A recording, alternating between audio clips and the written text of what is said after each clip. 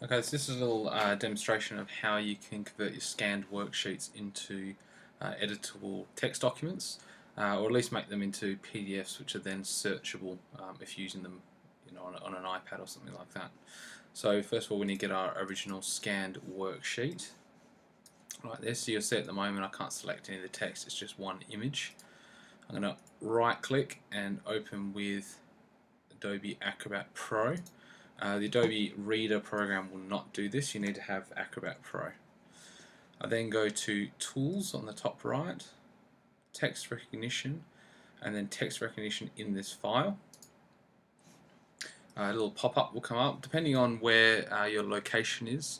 Uh, you need to make sure that you select the right language.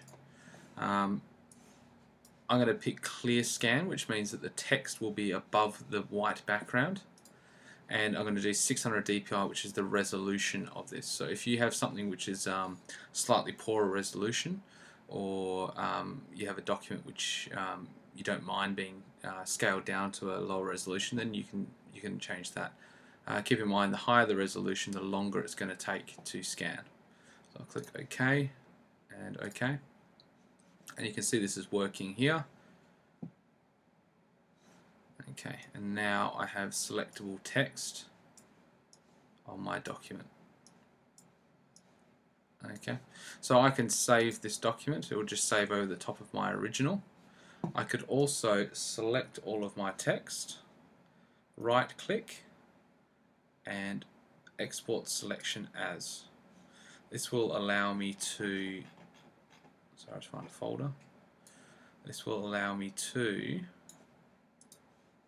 export my folder as a uh, sorry my file as a Word document.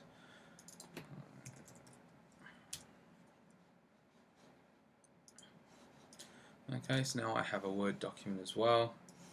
You see that the lines haven't exported, but then I can change my text to whatever I like.